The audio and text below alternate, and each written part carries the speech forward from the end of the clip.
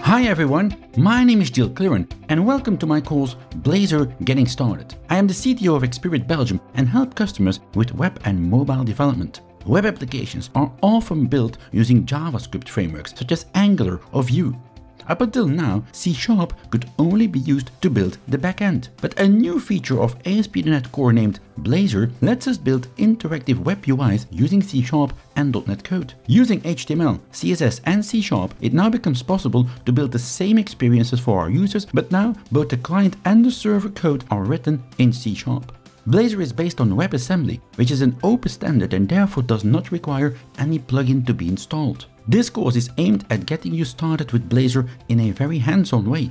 You'll build together with me a full Blazor application using Visual Studio 2019. You'll learn how a new project is created, how to use data binding, how to access data from a service in Blazor, how to create components and how to deploy the application. Some of the major topics that we'll cover include build a fully working application, starting from file new project that you can use as the foundation for your own project. Understand the architecture of a new Blazor application.